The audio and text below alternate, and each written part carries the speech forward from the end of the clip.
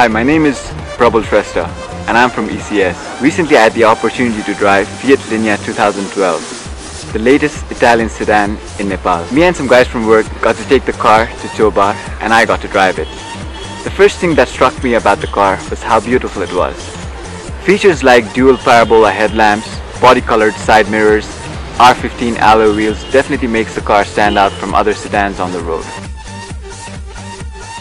Whoever made this car really thought about the space.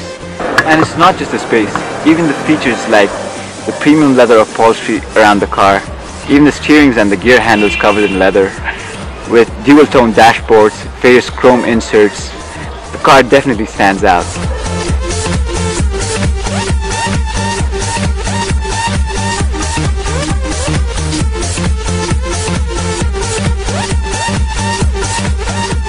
Now let's talk about the engine of the car. The car is powered by a 1.4 liters fire petrol engine providing a maximum output of 90 PS at 6000 RPM and maximum torque of 115 Nm at 4500 RPM. The sedan has a 5-speed manual transmission and ventilated front discs and rear drums for brakes.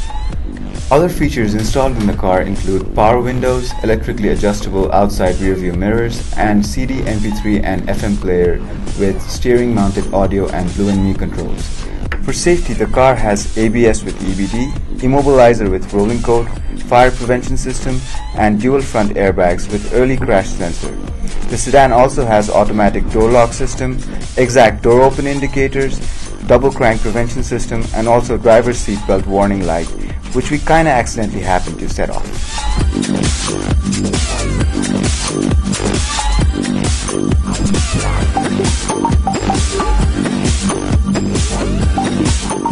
All in all, Fiat Linea 2012 is a complete family sedan with beautiful exteriors, spacious and comfortable interiors, the performance involving Italian engineering, well thought of safety features, the car is definitely a modern family car.